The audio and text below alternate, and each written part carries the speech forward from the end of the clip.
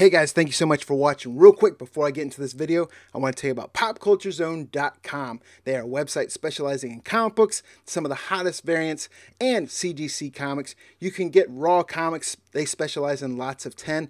And for those raw comics, if you are shipping to the domestic United States, you only pay $4.99 flat rate shipping. PopCultureZone.com. Now on to the video.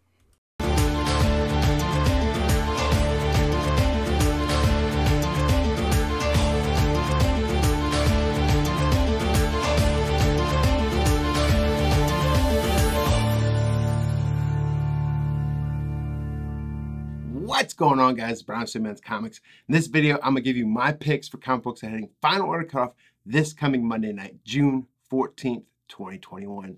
That is a day earlier, Sunday night for DC Comics, talked about in this video. Have some great picks this week, and at the end of this video, there are a bunch, a bunch of additional late printings, especially coming from Image Comics. But getting right into this week's picks, we're starting with Image, and we get that Skybound X number one. This is celebrating 10 years of Skybound. It's a weekly series that's going to kick off some new Walking Dead stories. We're going to also have some Ultra Mega stories, bunch of different creators on this. We're going to have some Manifest Destiny, one of my favorite underrated image titles. Love that. Hope to see that come to Amazon at some point. Been dying for a Manifest Destiny. But either way, there's a bunch of great covers for here. And we are getting the first appearance of Clementine from the Telltale Walking Dead games. That's a big one to look be on the lookout for. And there's a Charlie Adlard cover with Clementine on it. That's another one to pay attention to. Either way, Skybound X weekly series looks to be a fun one. Bunch of great different stories. If you're a Skybound fan, this is something you definitely want to be picking up. Then from Dark Horse Comics, my absolute favorite thing in the world, where we are getting that Masters of the Universe Revelation this is going to be a four issue miniseries, which is a prequel to the upcoming Netflix series by Kevin Smith. If you have not seen the trailer for that, it's absolutely phenomenal. You got Mark Hamill doing the voice of Skeletor, but either way, miniseries kicking off. It's going to have two covers. Both are absolutely gorgeous. And then on issue number two on, you're going to have Dave Wilkins, one of the best Masters of the Universe cover artists out there, doing covers for this. And if you're a fan of Dave Wilkins and that infamous Skeletor variant, one of my favorite, favorite comics to own in my collection. You are going to want to pay attention to friends of the channel, Tales from the Flip Side. Check them out live this coming Monday night at 9.30. They are going to have Dave Wilkins on their channel to talk about Master of the Universe. And although Dave Wilkins didn't do the cover for issue number one, I have heard rumor that there's a pretty amazing store exclusive that Dave Wilkins is doing for issue number one, and that's going to be from Wanted Comics. I don't know all the details. I just heard that it's going to be one that I should be on the lookout for. So I'm pressing that word on to you guys. Getting over to Marvel, we get Extreme Carnage Alpha number one. This looks to be one of the big releases from Marvel. This FOC picking up after the conclusion of King in Black. We get the Life Foundation, which consists of Scream, Phage, Riot, Lasher, and Agony, reconciling with their sometimes noble intentions of their host with their often bloodthirsty impulses. But they aren't the only ones that find themselves reinvented after King in Black. They have an older sibling that may be reinvented in its own right, and we are talking about Carnage. As I stated, this looks to be the big one of the bigger Marvel releases for this FOC. There's a bunch of great different covers for here. So pick the one you like. If you're a fan of Carnage, we know we got the Venom Carnage movie coming up. I always say buy cover A and then buy the cover you like. There are some incentive variants for this, and I'm sure there's going to be some store exclusives as well. So definitely pick the one you like. Or if you're really a fan, go Pokemon style and collect them all. Keeping within that Spider family, we also get the Amazing Spider-Man number 70. This is the prelude to the upcoming Sinister War, but the main reason why I have it in this video, everyone loves Peach Momoko. A lot of people love Spider-Man. You combine those two together, and we get a great regular priced anime variant by Peach Momoko with Green Goblin on the cover. And it's important to point out that Peach Momoko is doing a lot of these variants for a lot of these different series within this FOC period. So if you're a Peach Momoko fan, that's something that might interest you as well. So be on the lookout for those anime variants. Another big release coming from Marvel for this final order cutoff is a new X-Men number one. That's right, we're getting another X-Men number one, and there's a bunch of covers for this one as well. I'm putting in this video more so that the viewers are aware of X-Men. I've been on the record before. I'm not the biggest X-Men fan. I, soapbox moment, I can't stand how many spin-off X-Men comics are, how many X-Men number ones there are, how many different tie-ins there are. I can't keep up with it. But what will get me buying X-Men number one is some of the cover artists on some of these covers. Absolutely gorgeous, ones to pay attention to. But if you're an X-Men fan, this is definitely something that you might be interested in. Getting over to Boom Studios.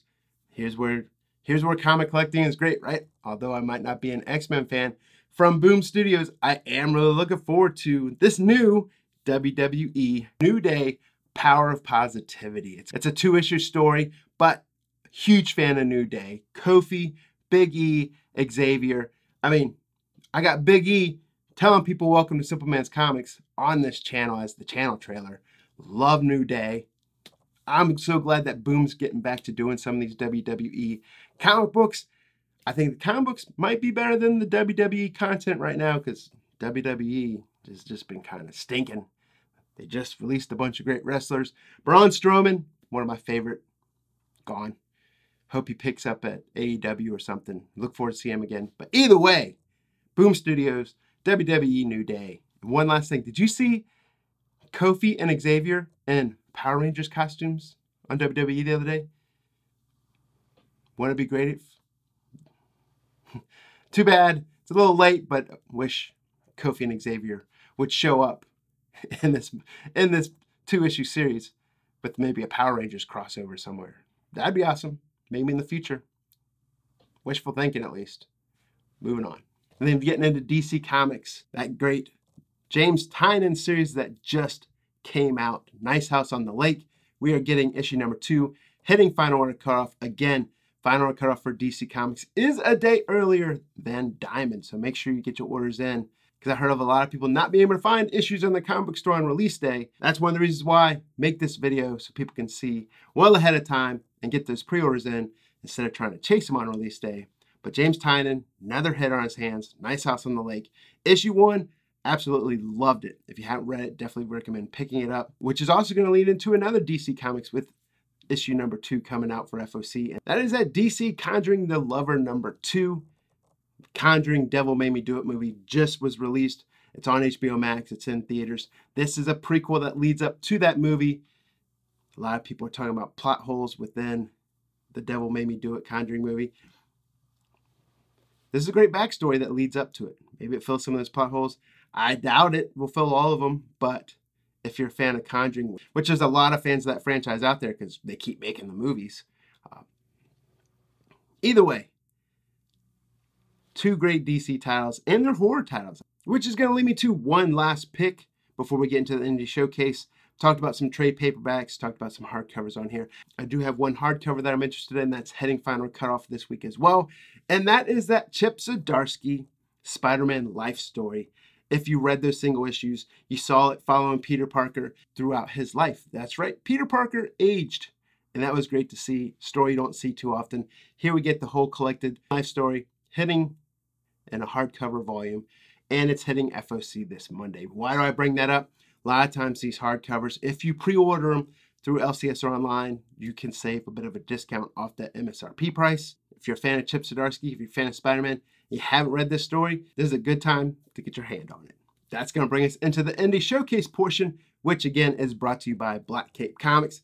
BlackCapeComics.com. You can pre-order all the books talked about in this video, as well as the great independent titles. The first one we're talking about in the Indie Showcase this week comes from AWA Upshot, and we are talking about Fight Girls number one. This looks to be a great series, especially if you're a fan of Frank Cho. It is written and drawn by Frank Cho.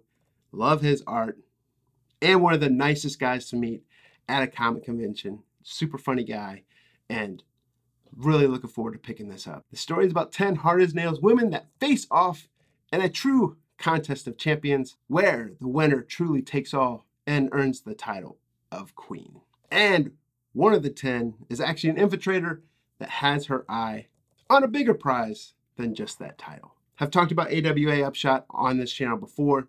One of the great newer publishers that have come out within the recent years. Love their stories and have some great creative teams on here. Frank Cho, love his art. Really looking forward to picking this up. Then the next one in the Indie Showcase this week talked about issue number one that just came out, but we are talking about Basilisk number two. Talked about how great Cullen Bunn is. Talked about in this very video series how I get those something is killing the children vibes from Basilisk.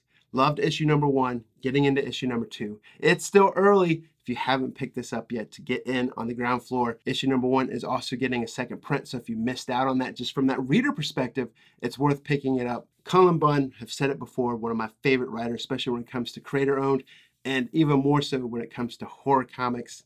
And it's got regular covers as well as incentive variants. And that's going to wrap up the Indie Showcase, but like I said at the beginning of this video, there's a bunch of later printings, especially from Image Comics this week. We are getting Ant number 12 with the second print. Geiger number 3 is also getting a second print. Nocterra number 2 is getting a fourth print, as well as Nocterra number 3 getting a third print. Stray Dogs, one of my favorite series from Image Comics right now. Been talking about since issue 1 hit FOC and love to see new readers picking this up and going, wow, this is great. And one of the things I'm loving to see is how new readers are coming onto this series, and everyone I know is enjoying it. Shout out to Tony Fleecs on a great story on this one. But issue number one is getting a fourth print. Issue number two is getting a third print. Issue number three is getting a third print, as well as issue number four also getting a third print. And I am loving how each one of these additional printings has a different horror movie homage cover for it. Makes the collector of me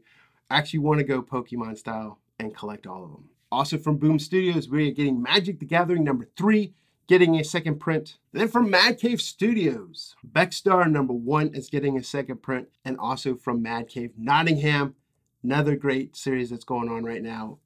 And it's proven so right here, where we're getting a bunch of additional printings for this title. Issue number one is getting a fifth print. Issue number two is getting a fourth print. Issue number three is getting a third print. And issue number four coming with that second print.